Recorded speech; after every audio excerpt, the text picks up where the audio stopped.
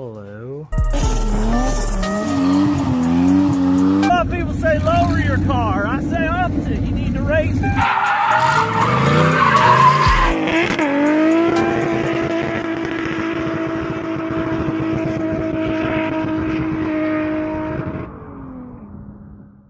What is up, everybody? I'm super excited. Jake, are you super excited? I am ready to see this thing eat.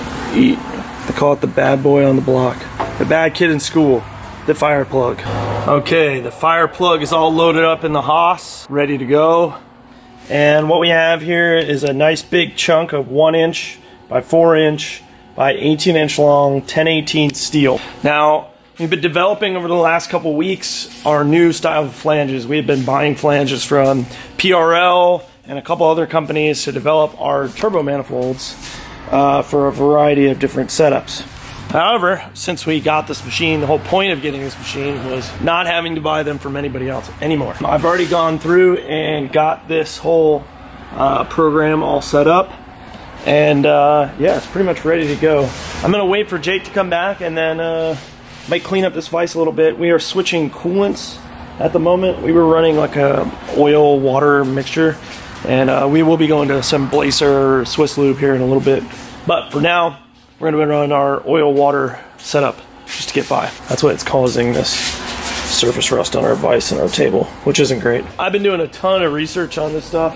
Uh, I actually went to school for it for a while. However, that was 12 years ago, so kind of a long process. This is gonna be our flange. And I already have it set up to use that Fireplug. I've already looked through all the G code. It will just cut the blank for right now. It won't be cutting in the holes. It'll be cutting in these pockets. And they're removing a ton of material around the side. I'm really excited to see how fast this does it because right now it says that our machining time is 40 minutes. If it can do it in 40 minutes, I mean, that's a vast improvement. When I first did this flange with a high-speed steel end mill, took over two and a half hours to cut out, which isn't productive and isn't manufacturing level, that's for sure. So turning this piece of hunk of 1018 steel into a flange is going to be pretty dope. This is a roughing end mill. You can see the little serrations in the side of it. Those are supposed to rip steel off there pretty much. It's much more aggressive. It doesn't leave a clean surface finish, but we have surface finish end mills to go back and clean up the surface, which is dope. Okay, so I guess it's doing the pockets first.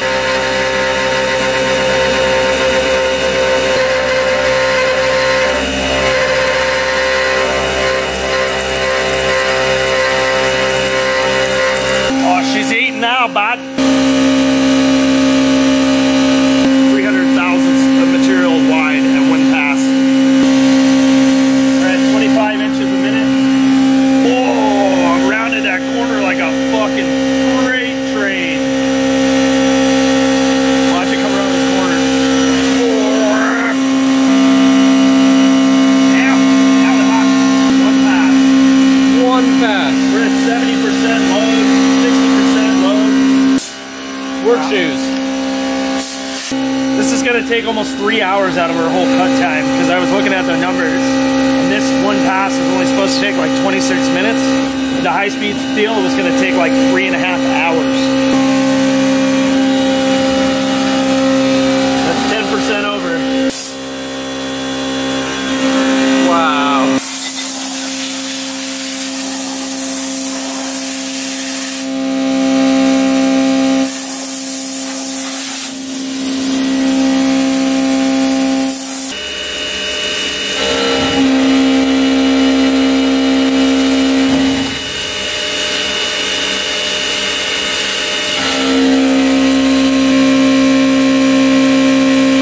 That's a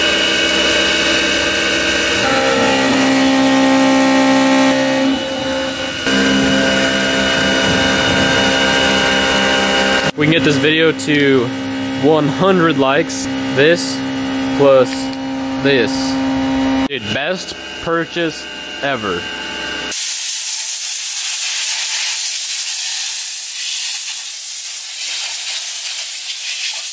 pretty fucking impressive. So we learned some real key things.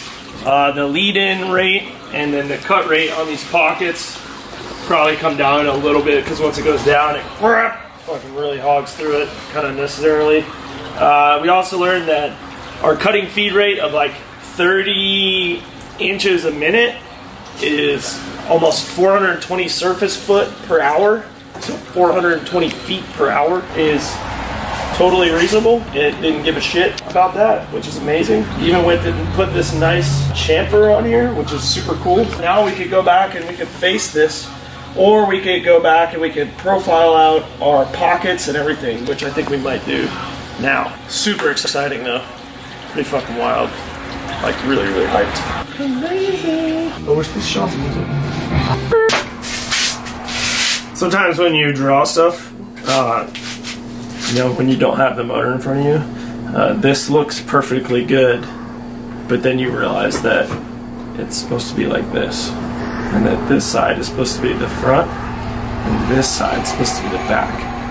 And that makes these little, little tube pockets uh, on the wrong side. what we need to do now is uh, unfuck this and put these on this side, which I've already done. Uh, now it's correct. Now it looks as it should. This is, uh, but we were reviewing the Fireplug end mill, and we used it for everything from surfacing to uh, adaptive to uh, 2D pocketing, and I have to say that thing is an absolute savage. Uh, we were doing 400 thousandths radial depth of cut, or excuse me, radial cut with um, 50, 500 thousandths depth of cut. So uh, that should put it into perspective. That's a massive, massive cut. Um, 400 thousandths radial depth, and it fucking blasted through this mild steel at 35 uh, inches per minute, which is 420 surface foot. Hashtag 420. Gang gang. 420 surface feet per minute through mild steel is absolutely blistering for this machine. And we never once touched 100% spindle load, which means there's more on the table for us.